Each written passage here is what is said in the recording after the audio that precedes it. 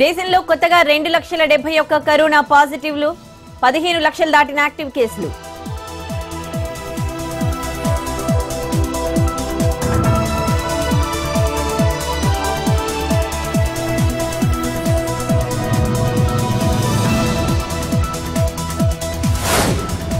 రాష్ట్రంలో విద్యా సంస్థలకు ఈ నెల ముప్పై వరకు సెలవులు. అధికారికంగా ప్రకటించిన Telangana chief secretary.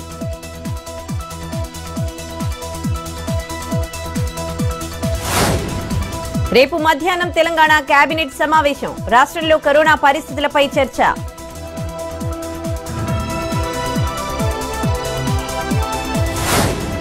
MLA Ambati రాంబాబుకు మూడోసారి కరోనా. ఐసోలేషన్లో ఉన్నట్లు తెలిపిన ప్రకటన. భోగి పండగ రోజు సరదాగా ఆడిపాడిన అంబటి.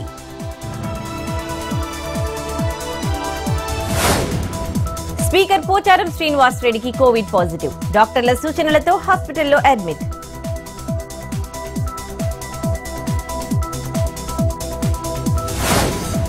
ప్రకాశం జిల్లా వాడరేవు సముద్ర తీరంలో బాలయ్య సందడి. భార్య వసుంధరతో కలిసి బీచ్లో జీప్ నడిపిన బాలయ్య.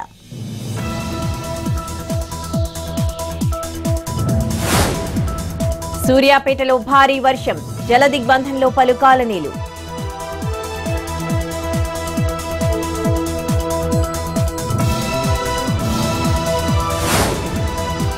ఎడ్ల బండిని వెనక నుంచి ఢీకొట్టిన లారీ ఒకరికి తీవ్ర గాయాలు. డ్రైవర్ నిద్రమత్తు వల్లే ప్రమాదం.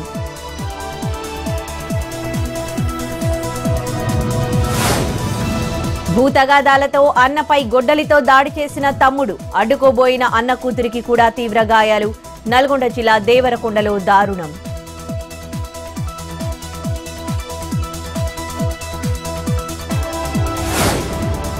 అనంతపురం జిల్లాలో మిర్చికి నల్ల తామర పురుగు భారీగా తగ్గిపోయిన దిగుబడి ఆందోళనలో మిర్చి రైతులు.